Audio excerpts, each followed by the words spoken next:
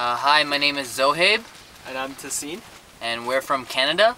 Um, we came down to Iquitos to take advantage of the jungle and see what we could. Uh, we used Amazonas Explorer. Um, some of the our experience it was fantastic. We saw a lot of alligators. We saw a lot of iguanas. We saw all types of birds. Various types types of birds that we saw flying around, and the guides were really good. Uh, the food was amazing, and overall it was just a really good experience over the last three days. So Yeah. definitely recommend it. we would definitely recommend it to if you're willing to come down to the jungle.